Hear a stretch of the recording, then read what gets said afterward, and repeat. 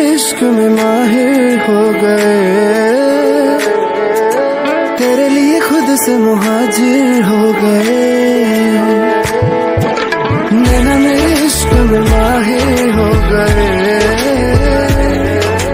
तेरे लिए खुद से मुहाजिर हो गए।